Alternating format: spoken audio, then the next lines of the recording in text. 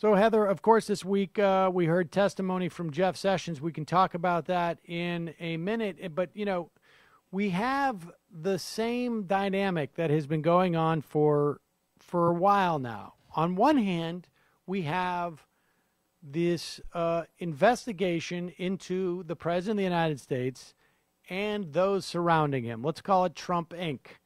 The investigations range from uh, obstruction charges to apparently, and we'll talk more about this, Mueller um, loading up on a lot of uh, criminal financial investigators and prosecutors.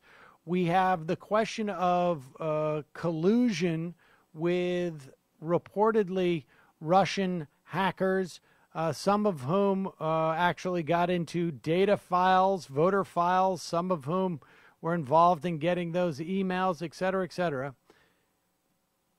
But meanwhile, we have the Republican Party on the verge, I believe, of passing a uh, repeal and replacement of Obamacare that is going to be devastating to tens of millions of Americans. And I would argue, and this is underreported, it seems to me, is going to be debilitating to millions and millions more because we're not just talking about um, Medicaid being uh, cut and tens of millions of people losing their Medicaid insurance. And we're not just talking about the destruction of the private insurance market. So we're talking maybe another 10 million. But I think employer uh, based coverage is going to be dramatically impacted by what uh, the Republicans are doing. And the way the Republicans are playing it makes it almost impossible for there to be any meaningful news coverage of it. Well, I mean, this is the thing that's that's so shocking to me is that this is all it is all taking place in secret, and they clearly have every intention of drop. Uh, we're talking about the Senate bill now, dropping the bill in you know in the dead of night. Uh, you know, hope with McConnell hoping he's got believing he's got the votes lined up and just doing it. And they know that they anything they put in front of Donald Trump will he'll sign it, right? I mean, he doesn't yep. you know, he doesn't care.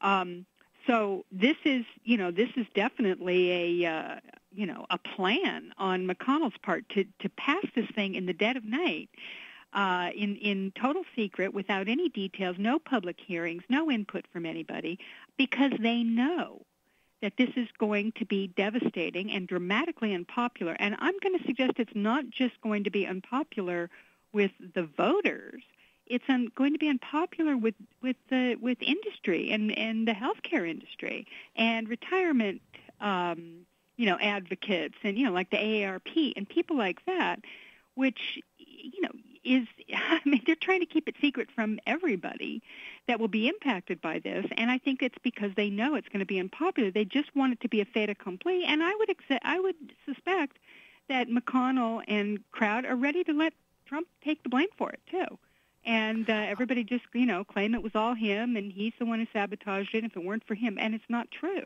This is them. Trump doesn't know what he's oh, doing. He has no clue. I mean no clue. In fact there was a report uh, this week that trump met with the senate leaders the 13 who are writing this bill and basically came in and said um, uh, this plan seems uh, mean and as you know, like as if he wasn't aware of what he celebrated in the Rose Garden with the yeah. house plan, because this is this is you know basically the house plan. You know, you could call it light, but I would say more like the house plan camouflaged, mm-hmm. and and and you're absolutely right. I think they're perfectly. I think Mitch McConnell et al. are perfectly happy to have this called Trump Care because people should understand when they get caught up in the idea of like you know well, how is it possible they're going to pass this? They're going to suffer electorally. This is the first opportunity in i think decades now. In fact decades. I would say since 1986 that the republican party will have an opportunity to to successfully pass permanent tax reform. Yep. And by permanent, I mean not sunsetting, you know, forcing the Democrats to actually raise taxes down the road if it's if it's going to be that not since Ronald Reagan in 1986, I believe it was, have the Republicans been this close to permanent tax reform. So, from their perspective, this all makes sense if you realize it is not about health care to them. It is about getting the baseline down to cut taxes. And this is the only way they can do it because they need to do this through a process called reconciliation, which allows them just a 50 uh, plus one vote to get this legislation through. And to do that, they need to cut. And Obamacare is out there as an easily cuttable, because they've been promising to get rid of it for years, an easily, you know, not easy is maybe not the right word because it's been difficult, but the most um, appropriate opportunity for them, in their eyes, to cut, to get these permanent tax cut relief. This is the first time in, in a generation. Paul Ryan was, you know, like he says, I think in junior high school at that time or high school. They're going to come in there and they're going to do this. Mitch McConnell, this is this is their dream. They do not care what happens after they get these tax cuts. I mean, I, I, they'll they'll fight afterwards, but they are willing to go all in on this, and that's what we're seeing. And they're doing it in secret. And and Digby, you know, we just got a, a minute and a half here, and we can talk about this in the next hour again. But the Democrats have only one play here one play, and that is to gum up the works of the Senate to delay this bill so that once it gets scored by the uh, the Congressional Budget Office and it comes back to the Senate, and it has to do that to pass the Byrd rule so that they can do a reconciliation. The Democrats need time to re energize people to fight against this because for a long time we were told this is not going to pass. Yep. Not going to pass the House. Then it did, and then it was definitely dead on arrival in the Senate.